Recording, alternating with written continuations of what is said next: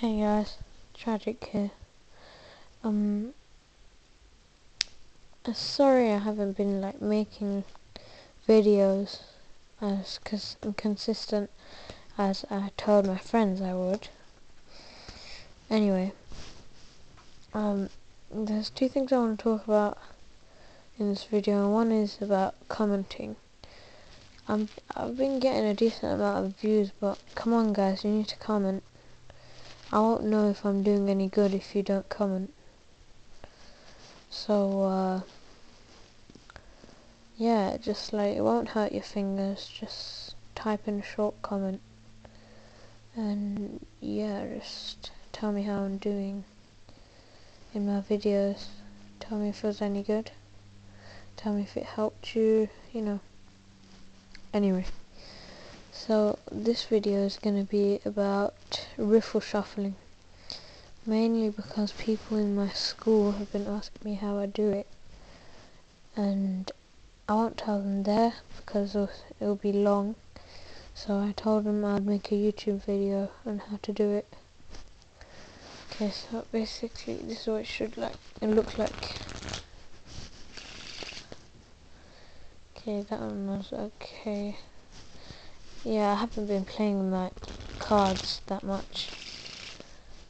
Okay, anyway. So now the tutorial.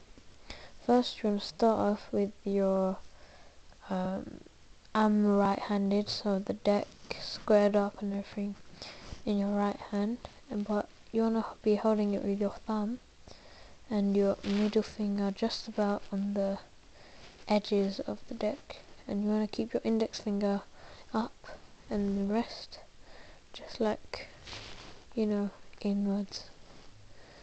Now what you want to do is um, after you're in this position you want to go into the middle and you want to cut that half okay? Then you want to lift it and move it a bit to the left.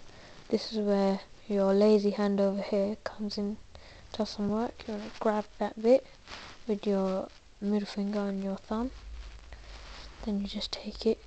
Your index finger is a bit above and the other two just like you know away. You want to square up the deck if it's not squared up and then you're gonna this is the sort of floor or surface riffle shuffle. You can do aerial riffle shuffle. I'll, I'll make a separate video about that. Anyway once you come into this position here um, you want to have the middle finger and the ring finger about at the bottom of it, bottom sort of edge, and the same with the other hand. Okay, now you want to still hold the tops of the sort of decks with your thumb in the middle, and you want to keep your index fingers over here, about say about three quarters of the way down. Now, you want to come up, you want to bring your index fingers, and you want to push it down like this. Look, like this. Okay, so you get a little bend, and then you gotta just release the cards slowly, as if you're fanning a book. You know how you like you get a book and then you can just like do that with it to all the pages. Yeah you want to practice you want to do that sort of motion. You want to practice doing it with one hand until you get comfortable with the sort of movement.